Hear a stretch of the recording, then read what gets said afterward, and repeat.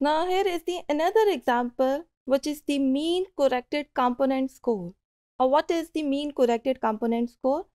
Basically हमारे पास अगर हम स्टैंडर्डाइज में जाएँ तो समटाइम हमें मीन की वैल्यू ज़ीरो चाहिए अब वो मीन की वैल्यू ज़ीरो कैसे हम ले सकते हैं प्रिंसिपल कंपोनेंट में तो वो हम यहाँ चेक कर रहे हैं since y equals to beta prime x you know that this is the principal component we generally have zero mean non-zero means. We generally have non-zero means. But हमें some transformation ऐसी करनी पड़ेगी कि जहाँ से हम अपने मीन को ज़ीरो बना सकते हैं। There for a transformation on y is made such that the mean vector y is zero अब हमने कुछ ऐसी ट्रांसफॉर्मेशन लेनी है जिससे हमारे पास मीन वैक्टर वाई जो है वो ज़ीरो के इक्वल आ जाए। If the sample mean vector x bar and the B is the matrix of the eigenvectors, you know that of the sample covariance matrix S. This is the notation of the sample covariance matrix S. Then the transformation to get the zero mean vector. अब हम उस पर transformation कौन सी ले रहे हैं transformation is the y which is equals to b prime x minus x bar. हमने उस पर ट्रांसफॉर्मेशन की और ट्रांसफॉर्मेशन करने के बाद हमारे पास मीन वेक्टर ज़ीरो आ रहा है For the kth principal component, the component score is given this. This is the general equation. In case we find the components from the sample correlation matrix, उसको हमने notation दे दी R से. The component score would be the computed from the standardized observation. अब standardize किया, standardized observation, standardized में आपको पता है हम क्या notation use करते हैं z, where अब z किसके equal है? Where z equals to capital V diagonal हमारे पास capital V one by two raise to the power minus one यानी कैपिटल वी की पावर स्क्वेयर रूट लेने और raise to the power inverse हमारे पास है which is equals to x minus x x bar so V diagonal क्या है? We हमारे पास क्या है? Is the diagonal standard deviation matrix यानी आपके पास वी बेसिकली क्या होगा?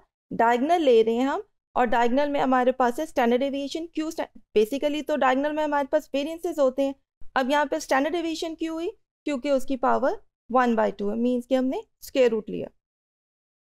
Now here is the equation this is the general equation आप यहाँ से एक्स की वैल्यू डिटरमिन कर लो एक्स कैसे हमारे पास आएगा? बी ट्रांसपोज में है बी यहाँ पे आ गया इक्वालिटी के उस साइड पे। देन ये आपके पास माइनस एक्स बार है इक्वालिटी के उस साइड पे पॉजिटिव एक्स बार हो गया। ये आपके पास जनरल सिनारियो है। इस सिनारियो को हम यूज़ कर रहे हैं एग्ज़ाम्पल में। Consider the random vector this is the random vector has the mean vector and the covariance matrix this is the mean vector sample mean and this is sample covariance matrix find the principal component and the mean corrected component score हमने क्या find करना है? Principal component and the mean corrected component scores Now, this is the solution. We have given the covariance matrix. This is the sample covariance matrix. Now, eigenvalues and are the solution of this. अब ये आपके पास eigenvalues की हम यहाँ से निकालेंगे पहले आप प्रीवियस एग्ज़ाम्पल में हम यहाँ पे पॉपुलेशन वैल्यूज़ ले रहे थे हेयर अब हमें यहाँ पे गिवन है सैंपल वेरियंस कोवेरियंस मैट्रिक्स तो हमने सैंपल कोवेरियंस मैट्रिक्स यूज़ किए which is equal to zero the solution of the quadratic equation is this just हमने इसको अब डायरेक्ट किया है, आपको पता है कि कैसे होता है? एस की वैल्यूज़ आ गई माइनस लेमडा इंटू आइडेंटिटी आपके पास आ गया four nine nine sixty four minus lambda and next is the identity matrix after this और उसके बाद हमने उसका सोल्यूशन चेक किया तो क्वाड्रेटिक हमारे पास फॉर्म बन रही है। अब क्वाड्रेटिक फॉर्म से फर्दर यू नो दैट कि लेमडा वन और लेमडा टू हम कैसे जनरेट करते हैं? Lambda one and lambda two are the eigen values of the matrix S lambda one और लेमडा टू हमारे पास आ गए।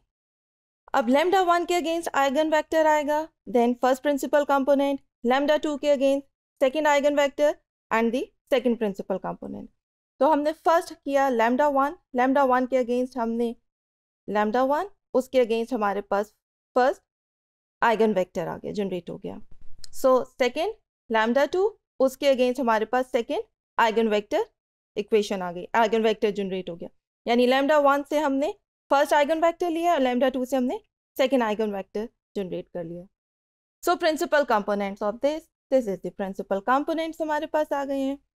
Further now we find mean corrected, mean corrected component scores using this is not the correlated, this is the corrected y which is equals to b prime x minus x bar. अब आपके पास b की values आ गई। b आपके पास क्या है? This this this this B one हमारे पास b आ गया। So this is the B one one B one two B two one and B two two so B prime इसका आपने प्राइम ले लिया। ट्रांसपोज आपको पता है कैसे लेते हैं? रोज को हमने कॉलम में कन्वर्ट कर दिया। First row one point this और ये आपके पास यहाँ पे आ गया रो कॉलम में कन्वर्ट हो गई। This is the B transpose हो गया। Next is the x minus x bar you know that the value of the x one and the x two minus x bar की value given है। उससे हमने x minus x bar generate कर लिया। So mean corrected component scores are this which is equals to this equation में हमने उसको enter किया और फर्दर आपके पास टू इक्वेशंस आ गई। Here is the y one and here is the y two अब आपके पास क्या है? अब हम इसको अगर फर्दर चेक करें कि कैसे हमारे पास मीन ज़ीरो के इक्वल आ रहा है। So zero point one four five x one. तो एक्स वन आप यहाँ पे क्या पुट करोगे? सिक्स। एक्स टू हमारे पास पुट होगा सेवन। Then minus eleven. इसमें आपने वैल्यूज़ एंटर करके देखना है कि वाई वन की वैल्यू हमारे पास ज़ीरो आ रही है। Similarly y two, x one हमने पुट किया सिक्स। एक्स टू हमारे पास इलेवन। पुट करने के बाद हमारे पास वाई टू की वैल्यू भी ज़ीरो आ रही है। So this is the mean corrected component score sometime जब हमें मीन ज़ीरो चाहिए हो तो हम उसको कैसे सॉल्व करेंगे? This is the method of the mean corrected component score